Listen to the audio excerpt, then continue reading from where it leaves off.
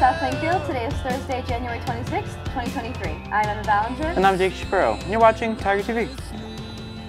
The drama, sorry, the Drama Club will be hosting a fundraiser today at Mr. Subs from 4 to 8 p.m. Mention the SPHS Drama Club when ordering, and 15% of the profits will go to the club. No flyer is needed. There's no confirmation if headshots will be for sale, but as always, Trevor Travis Jake Shapiro will be there, and this time he'll be using the slicer.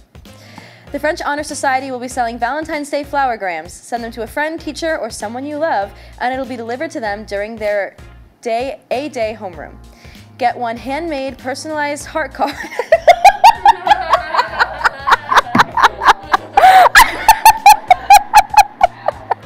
Get a handmade, personalized card and a flower for $2, or two flowers for $3. What a steal. Stop by Madame Snow's. Stop by Madame Sosna's room or contact one of the following and nope. Stop by Miss Stop by Madame Sosna's room or contact one of the following FHS members to order from this wonderful organization. Oh my! After almost two decades of touring and making music, Panic at the Disco is being disbanded by its leader, Brendon Urie. Urie, the band's last remaining original member, announced over Instagram on Tuesday that the band will be no longer after their upcoming tour for their album Viva Las Vengeance. By the time Urie made this announcement, Panic at the Disco had been a solo project for years. The last album with all of the original members was back in 2013. So proud of Brendon for having the courage to break up with himself.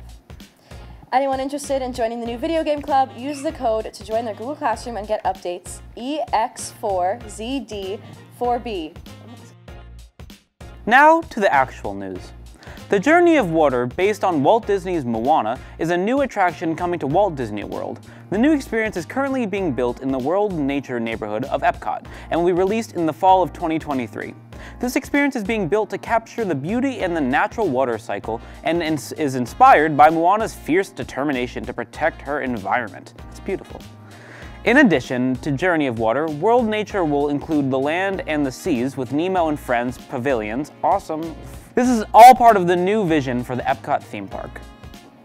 Justin Roiland, the co-creator of Rick and Morty, has been fired from the Adult Swim series due to criminal charges. After six seasons, Roiland, who has contributed creatively and provided the voices for hundreds of Rick and Morty characters, including the two main characters, Rick Sanchez and Morty Smith, the news broke of Roiland's firing from Adult Swim when Mayor Moore, Senior Vice President of Communications at Adult Swim, provided an official statement confirming the information. There's no indication of who may replace Justin Roiland in his roles, though Adult Swim has a contract with the show for at least four more seasons of the adult comedy cartoon. As the Arrowverse comes to an end, writers have begun to jump ship to one of Marvel Studios' Disney Plus shows. Writers Jill Blankenship and Grain Godfree, who have previously worked on CW's The Flash and The Arrow, have joined the Daredevil Born Again writer team. Plot details from Born Again have not yet made public, but it's said to be about his lawyer life. Fans are excited to see the outcome. And by outcome, I mean the relationship between Daredevil and She-Hulk. Now, over to Salanti with the sports.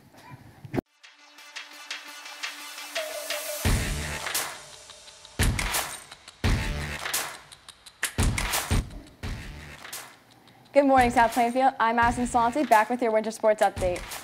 The boys and girls track teams compete at the GMC Conference Championships over the weekend. Once the dust settled on the track, the girls were crowned Blue Division champions. This is the fifth title in a row for our, for our ladies. Overall in the GMCs, the distance crew ran the track.